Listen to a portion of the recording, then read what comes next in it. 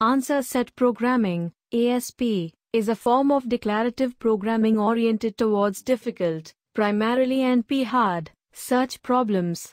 It is based on the stable model, answer set, semantics of logic programming. In ASP, search problems are reduced to computing stable models, and answer set solvers, programs for generating stable models, are used to perform the search. The computational process employed in the design of many answer set solvers is an enhancement of the DPLL algorithm and, in principle, it always terminates, unlike Prolog query evaluation, which may lead to an infinite loop. In a more general sense, ASP includes all applications of answer sets to knowledge representation and the use of Prolog style query evaluation for solving problems arising in these applications.